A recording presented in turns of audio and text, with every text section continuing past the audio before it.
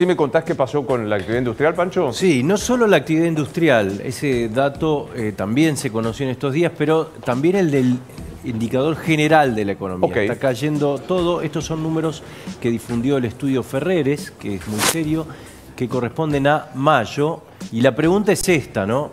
¿Se espe- se- ¿Para cuándo el ¿Esperamos un rebote rápido o no? En B ya difícil. La B corta, olvídate, ¿no? Arriazu está empezando a hablar de una U. Veremos, en el mejor de los casos. Esperemos que, que sea así. Industria, te decía el dato de ayer, 9,8 cayó. Esto es solo industria. Recordemos que la industria va a sufrir más que todo el resto de la actividad, probablemente por el, por el cambio de, de modelo y porque además pasó algo en los últimos dos años y es que como sobraban pesos.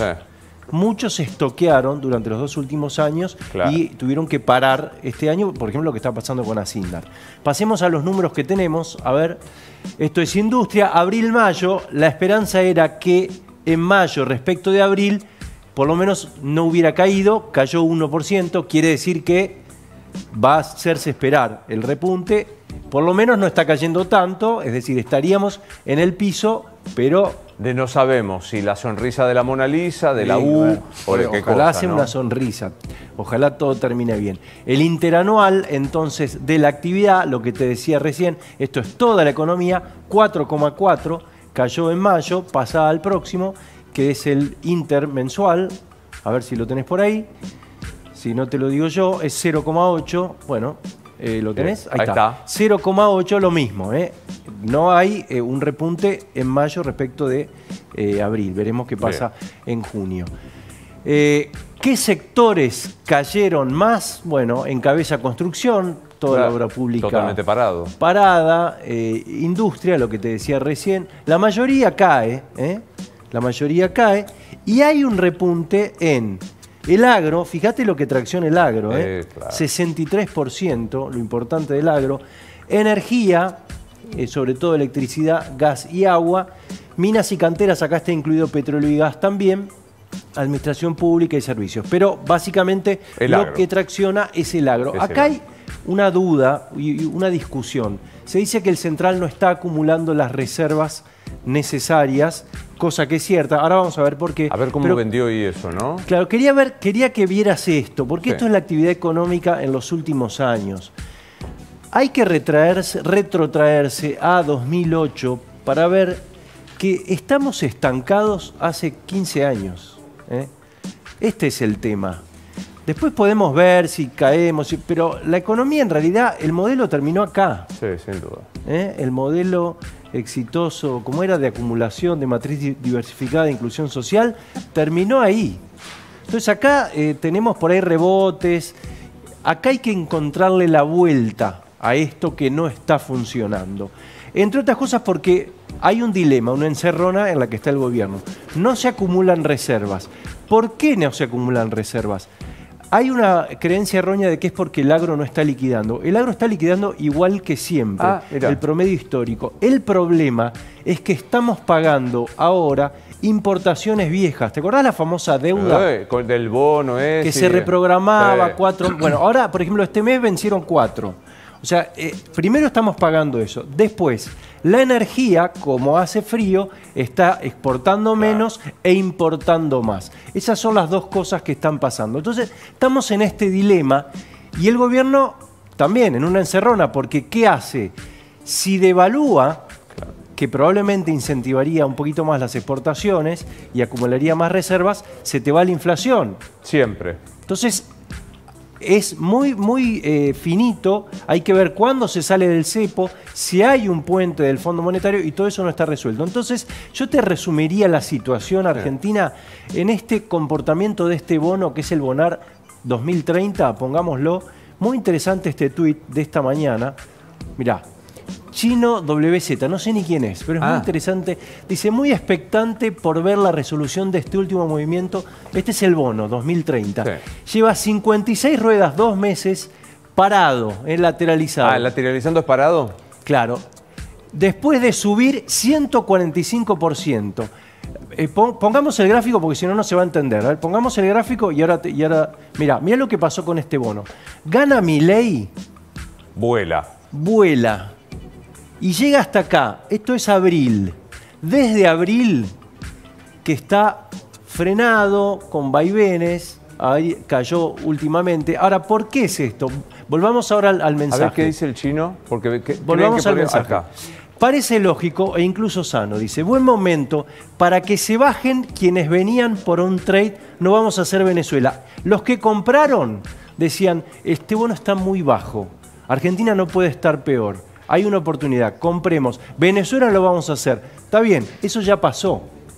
Y ahora entonces dice, y que se suban, que empiecen a comprar los que creen que podríamos llegar a ser Irlanda. Ah. Los que piensan, poner otra vez el gráfico, a ver si lo ponemos otra vez, a partir de acá De abril. tienen que apostar los que creen que a Milei le va a ir realmente bien, si esto va a funcionar. Hasta acá fue, bueno, Alberto Fernández se fue. A partir de ahora es, ¿funciona o no funciona? Y esta es la razón por la que está, todavía es bajo el precio, pero, to- pero fíjate que el mercado no está confiando del todo.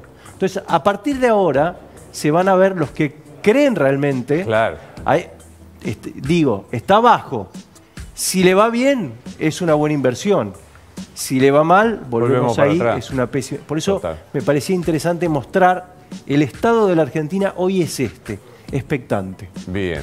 Te mandamos un saludo al señor chino, no me acuerdo chino. cuánto, ¿no? Chino W. Sí, al chino. A, a ver ahí, el chino WZ. Con una foto absolutamente trucha. este, que, No, que claro. va.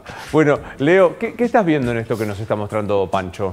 Me encanta, me encanta el gráfico ese porque la actividad económica es exactamente al revés de lo que vemos ahí. Hay gente que discute que si va a ser, o sea, originalmente iba a ser una B corta, ¿no? Sí. Y ahora hay gente que dice, no, tal vez sea una U. Sí. Pero en realidad el punto de podría ser una L también, que es, nos desplomamos y se queda todo el tiempo ahí como si estuviéramos muertos. El punto de inflexión, esa B corta, esa U o esa L, depende básicamente de cuando se den las reglas consistentes para que las empresas puedan in- invertir. Entonces, hasta que eso no suceda, vamos a seguir en esta recesión. Reglas consistentes son ley base es una parte, más lo que falte. Totalmente, es un poco de certeza de que la plata que yo voy a poner acá, y, y puedo decir yo, porque tal vez nosotros también cuando ponemos un, eh, algún negocio o algo, que yo voy a poner acá, va a estar resguardada de las cosas que pasaron en la historia argentina. Entonces, que no va a venir nadie a quitármela con impuestos, con planes especiales, con cosas raras. Entonces, en el momento en que eso está resguardado, la letra cambia, pasa de ser una, o sea, una U, pasa a ser una B corta, empieza a subir Claro. al toque. Pero ese punto de inflexión, esa diferencia entre L, U o B, o B, eh, depende específicamente de eso. Estamos todos esperando Total. eso. Que eh, con la ley bases, ¿basta o además se requieren? En realidad, si vos te pones a comparar, de hecho creo que ayer salió Caputo a decir la que iban a reducir el 90% de los impuestos Sí. para el final del mandato, si te pones a comparar eh, en, la- en los hechos, más allá de la cantidad de impuestos, cuántas pymes hay por cada mil habitantes en distintos países del mundo, vas a ver que esto no funciona si no hay más pymes. En Argentina hay 12 pymes cada mil habitantes eh, funcionando, había hace dos años. En Australia había 100 en Brasil, que tiene pocas, había 22. El doble que en Argentina prácticamente. Necesitamos, o sea, eh, dato fáctico, hacen falta más pymes que son la columna vertebral de cualquier economía. Todos los gobiernos pasados apoyaron más a las grandes empresas que a las pymes. Ese es otro problema también. Y ahí tenemos un problema porque RIGI debería generar en cascada un incremento del trabajo para las pymes. Pero además de eso, a ver, son las pymes las que van a generar el empleo. Esto que veíamos de eh, la construcción dejó mucha gente en la calle, muchísima gente en la calle. La caída de la construcción es el que tiene mayor multiplicador de empleo, la inversión en construcción. La única forma de compensar eso es creando muchas empresas chiquitas, no una empresa grandísima en Salta que produzca litio. Entonces, va a hacer falta como... Es un cambio cultural lo que hace falta. Es entender que el empresario no es un HDP, que el empresario es el que agrega valor, que gana dinero por agregar ese valor y que está perfecto, que si no te gusta, hacete empresario. Y que ese valor se reparte con los empleados, se reparte con otras inversiones, pero es la única, si te- cualquier país exitoso, admirable, pasó por ese proceso en donde decir necesitamos crear valor. Y, y eso no pasa si, Pero si por no lo que vos estás diciendo, esto es un proceso largo. Sí. Para que esto funcione y se convenza y cambie la mentalidad, esto requiere de más de un invierno. La verdad que lo hicimos mierda en muchas décadas, ¿no? No Necesitamos. entendí, no entendí lo que me decías. Lo hicimos. Pero que- Mierda. Ajá. Le hicimos pelota en muchas décadas. O sea, a ver, siempre digo que, que frente a las urgencias, todo corto plazo es un largo plazo al que llegamos tarde. O sea, la urgencia hoy de Juan Carr en River pidiendo comida, ¿fue este año? No, pero de- del hambre, ¿no? En, en- en la calle, esa urgencia son porquerías, son errores, no quiero decir cagadas de vuelta, son errores del pasado que, que lo dejamos pasar. Esto que decían antes, si el Banco Central no, no acumula reservas, ¿por qué está pagando deudas del pasado? Entonces, Leo, de- dejemos de generar deuda. Cuando el ministro ayer por enésima vez dice, no vamos a devaluar, no vamos a modificar el, el dólar blend y etcétera, etcétera, eh, se enoja. Por total ya está enojado, no me habla, no, conseguimos entrevistarlo. ¿Le da el cuero con las herramientas que tiene para no devaluar, no modificar el dólar blend? Primero sepamos qué es lo que tiene que decir y con una firmeza absoluta. Porque los economistas aprendimos con el paso del tiempo que jugamos con las expectativas. Si él llega a contestar eh, eh, con una duda, y ya enseguida se dispara todo. Entonces, él tiene que sí o sí ser firme con eso. Ahora, eh, yo creo que un tiempo más va a aguantar, pero la verdad es que si, si esta recuperación se sigue dando como, ahora estamos en la L, ¿no? En la, La parte de abajo. En la parte de abajo de la L, si seguimos acá estancados, y en algún momento van a tener que sacudir esto para que, para que reaccione. Eh, hoy yo no lo veo mal en general. Nunca, dije que no hablo del tipo de cambio, pero no me parecía tan terrible lo que está pasando con el tipo de cambio. Hay cosas mucho más importantes que es esto que hablamos de que Argentina no agrega valor. Los salarios son bajos porque somos improductivos, los precios son altos porque somos improductivos. Hay que invertir en este país. Hay eh, dos informes de ahora, uno de Delfos y otro de Caballo, que dicen, bajando el impuesto país, como dice el ministro, si sale la ley de bases, se puede devaluar creo que un 10%. ¿Eso es posible? Sí, pero de vuelta son como, a ver, tipo de cambio doble, dual, es algo temporario. Bueno, como en Argentina todo lo temporario termina siendo para siempre, ¿no? Pero eh, es súper ineficiente para la economía, genera distorsiones en las decisiones.